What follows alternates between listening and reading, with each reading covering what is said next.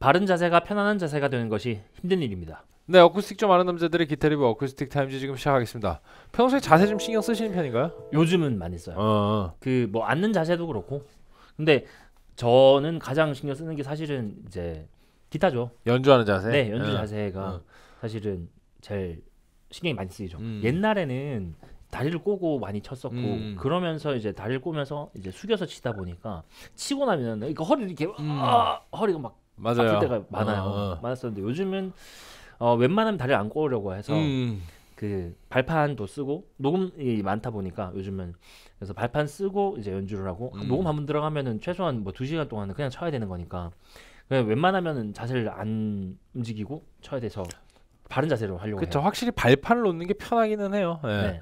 그리고 바른 자세로 쳐야 소리가 좀 이쁘게 나고 음. 네, 그렇습니다. 그럼 얘가 나온 김에 여러분들 뭐 초심자 여러분들도 많이 보실 테니까 네. 이것만 신경 쓰면 그래도 중간은 간다라고 할 만한 뭐 어떤 자세 팁 같은 게 좀 있을까요? 아, 그 힘을 주지 않는 것. 음. 그게 가장 저는 포인트인 것 같아요. 음. 왼손도 오른손도 이제 초, 초심자들 같은 경우에 이렇게 얹으면 얘가 떨어질까 봐 이렇게 잡으시는 이렇게 잡으시는 분들이 계세요. 맞아요. 힘이 이게 힘이 들어가는 거죠. 그럼 이렇게 돼 이렇게. 잡죠. 어, 어. 이렇게 어. 어깨 힘도 들어가고 여기 받치니까 이것도 음. 힘이 들어가고 그러니까 힘 빼고 그냥 걸치는 상태. 음. 오른손도 마찬가지로 음. 이렇게 힘을 뺀 상태가 제일 중요해요. 사실 일렉 같은 경우에는 바디가 없기 때문에 바디 팔을 들어서 쳐야 되니까 어깨 힘이 들어가고 이렇게 어쩔 수 없이 이렇게 되는 경우가 많거든요. 근데 어쿠스틱 같은 경우에는 최대한 relax한 상태로 치는 게 가장 좋은 것 같아요. 음, 네. 그렇군요. 그 이제 뭐 저도 이제 요새 자세 신경을 좀 많이 쓰고 있는 게 이제 확실히 나이가 들어가니까 음. 그안 좋은 자세를 오래 유지하고 있었을 때 그 오는 어떤 부담감이나 이런 맞아요. 것들이 확실히 느껴지면서 야 이게 몸이 고장 나겠구나. 지금까지 뭐 저는 뭐 디스크나 뭐 이런 거를 고생을 음. 해본 적은 없는데 이게 어떤 느낌인지 알 것 같은 거예요. 음. 이렇게 계속 막 쓰면은 뭔가 맞아요. 안 좋은 일이 생기겠구나라는 음. 그런 느낌 받을 때 있잖아요. 근데 우리가 이 촬영할 때 아는 이 의자가 사실 되게 안 좋단 말이에요.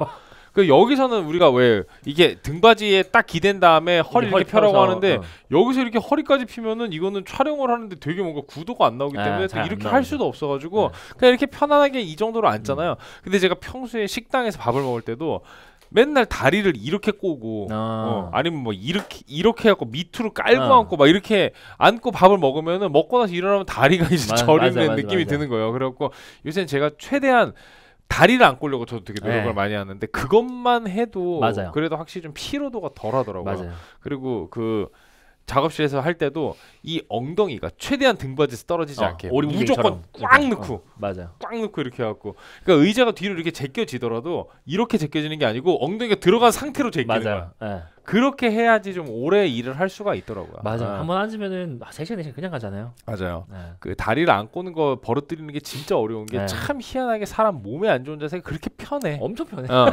옛날에 우리 짝다리 짚는 것도 어, 어, 그게, 그게 제일 편하죠. 제일 편하니까 한쪽 다리에 하중 주는 되게 안 좋은 건데 맞아요. 뭐턱 꿰는 거. 어, 맞아. 어. 하여튼 맞아. 참 이- 이- 어. 이-. 안 좋은 자세 진짜 많이 했죠. 예. 뭐 아무런 자세를 취해도 몸에 무리가 안 가는 20대 때는 뭐 맞아요. 사실 그 필요성을 많이 못 느꼈었는데 이제는 뭐만 해도 몸에 무리가 가는 최선을 다해서. 어, 건강에 좋은 걸 해야 돼요. 자, 우리가 요새 노화 얘기를 되게 많이 하는 것 같은 게 어. 우리가 노화를 가장 많이 체험하기, 체감하기 시작하는 나이인 것 같아서 아, 그런 것. 같아요. 어. 그러니까 아예 또 이게 익숙해지면은 그냥 또 이렇게 살 텐데 음. 젊었던 그 감각으로 늙어가는 몸뚱아리를 우리가 지금 운행 중에 있잖아요. 맞아요. 그러다 보니까 그 옛날과 몸 쓰는 거에 대해서 되게 크게 느낌 차이가 나는 걸 요즘 체감을 유독 많이 하는 음. 것 같아요. 그래서 앞으로 저희가 향후 한 몇 년간은 계속해서 이 노화에 대한 이야기를 하지 않을까. 그리고 그러니까요. 나서 우리가 이제 어, 진정한 어, 노화가 진행이 되고 나면 그 다음부터는 또 별로 얘기 안할 원래. 그런 거야. 아, 다 그래. 아니, 다 그런 거야. 야, 너 아직도 다리 꼬고 밥 먹니? 야, 예. 부럽다, 야. 뭐, 이런 얘기를 할 날이 오지 않을까 생각을 하면서. 네, 오늘은 어, Golden Age. 자, 여러분의 Golden Age는 언제인가요? Golden Age. 어. Golden Age입니다. Golden Age Adirondack spruce custom shop OM바디 wenge Adirondack spruce 그리고 HG hide glue finish로 어, 한번 또 진행을 해볼게요. 지난 시간에 로즈우드가 274만 원이었고 이번 시간에 wenge HG는 304만 원입니다. 가격이 이제 올라갔죠? 300대로 올라갔어요.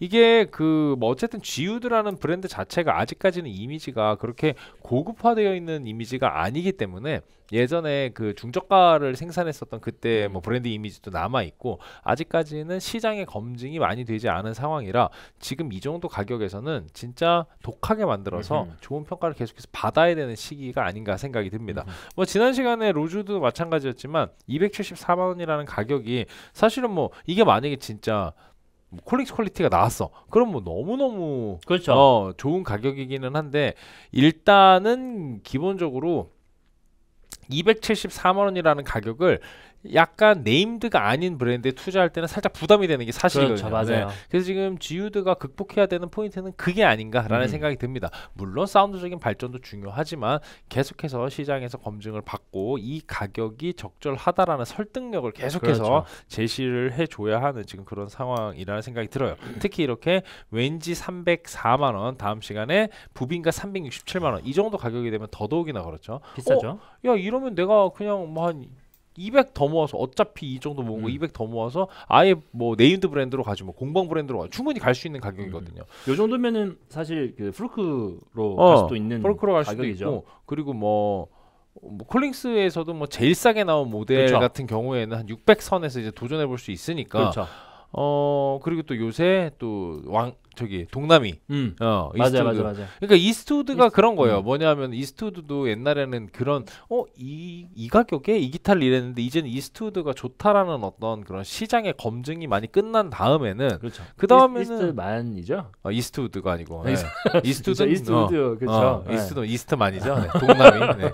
지우드랑 섞었어. 어 맞아요. 네. 이스트만은 이제 시장에서 많이 검증이 끝난 상태이기 때문에 그래서 어떻게 보면 이제 그 가격이 사람들이 합당 하다고 생각을 하잖아요. 음. 지우드한테는 지금 그 과정이 좀 필요하다는. 생각이 듭니다. 거쳐갈 어뭐 어떤 산이죠. 그렇죠. 보면. 뭐 200만 원대는 그렇다 치더라도 이제 앞에 3이 삼이 붙기 딱 붙는 시작하면은 이제. 여기서부터는 좀 확실하게 어, 음. 자기 브랜드의 이미지 메이킹과 quality control이 필요한 시점이라는 생각이 듭니다. 네. 자 바로 리뷰 시작해 볼게요. 304만 원 made in Korea고요. 전장 100cm, 무게는 1.89kg, 두께 99mm, 구프렛 둘레는 77mm입니다. 지금 보면은 뭐 마호가니나 로즈우드 같은 경우에는 두께 100에 구프렛이 78, 79 이랬거든요. 음흠. 전반적으로 shape이 살짝 작아졌어요. 나무를 좀 애끼려고 하는 건가? 저 정확히 모르겠지만 그렇진 않겠지만 예. 뭐 이게 약간 오차범위 내에 있긴 있습니다만 전체적으로 실측이 조금 작은 느낌이 들긴 들어요. 99에 77이었습니다. shape은 오케스트라 모델 OM body고요. 상판 Adirondack spruce African wenge 측후판이 사용이 되어 있습니다. 네, 자 gloss finish 적용이 되어 있고요. neck은 마호가니에 head machine은 그로버 앞으로 돌아와서 bone nut에 43mm 너비 지판 목재는 ebony 스케일 길이는 648mm 프렛은 20프렛입니다 스케일은 저희가 안 나와 있어서 실측한 건데 조금 오차가 있을 수 있어요 네 그럼 바로 사운드 들어보겠습니다 네, 사운드를 보겠습니다.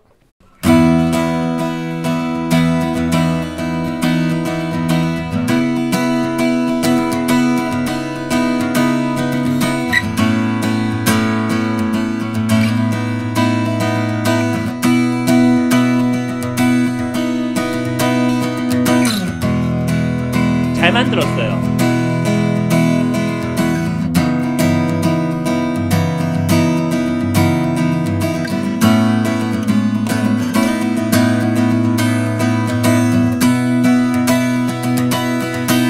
잘 만들었죠. 네 좋습니다 이게 튀는 게 없이 그, 그 결이 앞에 했던 것들의 연장선이 있습니다. 음. 그것보다 사운드가 조금 더 고급져졌다. 맞아요 네, 그런 느낌이 아닌가.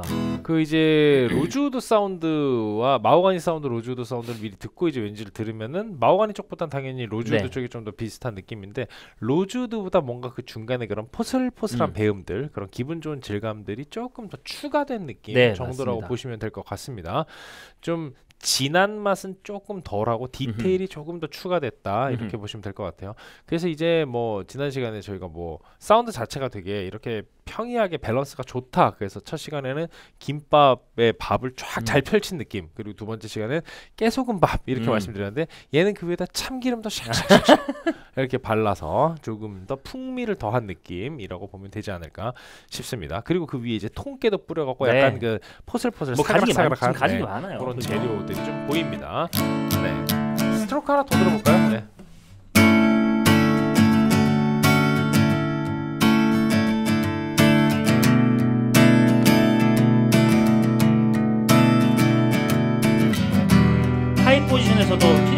별로 없죠.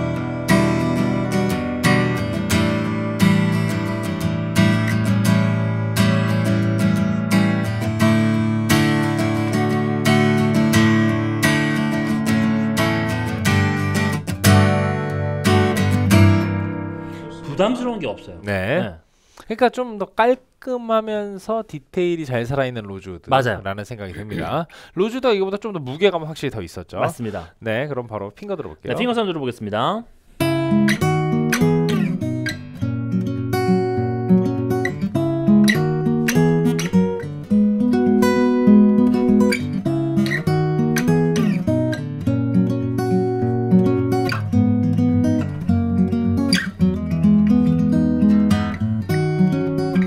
좋아야죠. 이 정도 가격이면 좋네요. 그렇죠. 어때요? 좋아요. 충분히 잘 만들었다는 생각이 듭니다. 맞아요.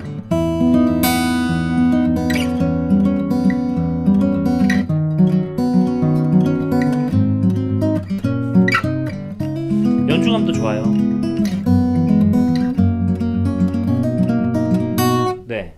잘 들어갔습니다. 이것도 솔로톤 한번 들어볼게요. 솔로톤 한번 들어볼까요? 확실히 로즈보다 가벼워요. 맞아요.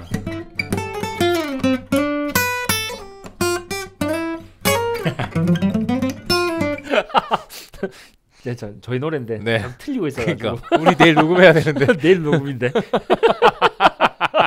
조졌네 조졌어. 네 그렇습니다. 좋습니다. 네. 뭐때 되면 또 하겠지 뭐. 네. 그럼요 네, 연습해야죠. 좋습니다. 확실히 아까 말씀드렸던 것처럼 뭐 오엠바디 특유의 그런 옹골찬 사운드는 있습니다만 로즈우드가 무게감은 더 무겁다는 거 말씀드리고요. 이건 어떤 곡 들으실 건가요? 네, 이건 선셋보사 들려드립니다. 선셋보사 듣고 오겠습니다. 뿅.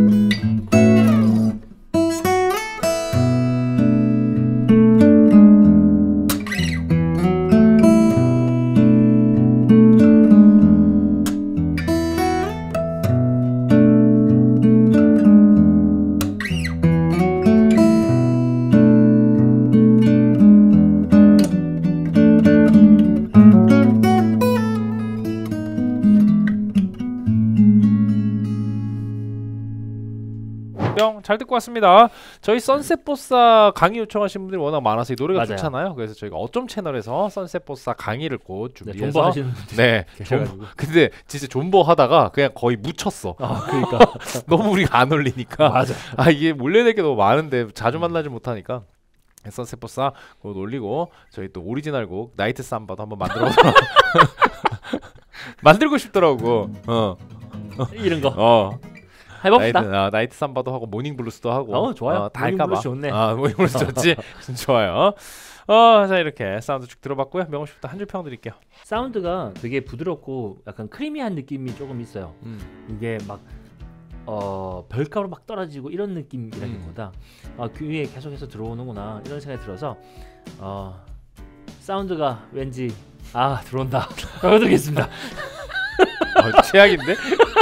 어 저는 어 아까 말씀드렸던 것처럼 이제 300이 넘어갔기 때문에 잘 만들었고 사운드 좋은 건 저희가 이미 여기서 충분히 네. 이해를 했고 대신에 이제 여러분들이 어 GUD에서 저런 좋은 기타를 만들지 GUD 기타 좋더라 야 음. 저거 저 가격이 괜찮네 좋은 대안이 되겠다 음. 이런 공감대를 형성할 수 있는 그런 시간들을 충분히 가지셔야 한다는 생각이 들어요 그래서 저는 브랜드가 기타를 따라가야 할 때 이렇게 드리겠습니다 음.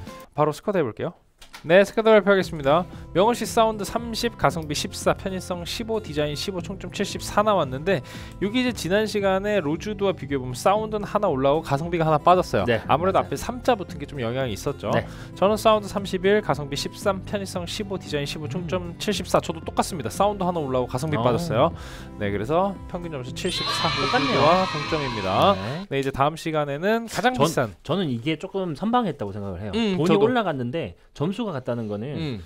네 잘했다고 생각해요. 음, 그렇죠. 그러니까 네. 지금 뭐 지우드가 우리가 저번에도 그랬지만 잘 만들고 있어요. 네, 잘 잘 만들고 있어서 지금 되게 큰 숙제 하나는 해결을 했어요. 맞아요. 이제 그 거기에 산적해 있는 여러 가지 음. 어좀 자잘한 미션들을 수행하면 되는데 사실 아무리 다른 자잘한 미션들 뭐 홍보 잘하고 음. 뭐 열심히 뭐 사람들한테 뭐 입소문도 내고 그리고 뭐 시장에서 계속해서 검증받고 이런 모든 과정들이 사실 기타가 좋지 않으면 그렇죠. 아무 의미가 없거든요. 기본이 있어야 근데. 지금 일단 기본은 있고 나머지 네. 부분들의 그런 과제들을 해결해 나가면 되는 상황인 것 같아서 일단 그건 다행이라는 생각이 음흠. 듭니다. 자 다음 시간에 가격이 좀 많이 올라가기 때문에 이 부분이 좀 걱정은 되는데 음흠. 그래도 기대가 됩니다. 저희가 사실 저렇게 된 제대로 된그 무늬에 양떼 그룹 무늬에 부빈가를 아, 해본 그렇죠. 적이 없기 때문에 맞아요. 네 부빈가 풀 부빈가 거의 뭐 첫 경험이라고 봐도 무방할 것 같네요. 다음 시간에 기대하면서 가져오도록 하겠습니다. 367만 원짜리 부빈가 마지막에 하나 남아 있으니까 채널 고정해 주시고요. 유튜브 구독과 좋아요는 저에게 큰 힘이 됩니다. 어쿠스틱 타임스.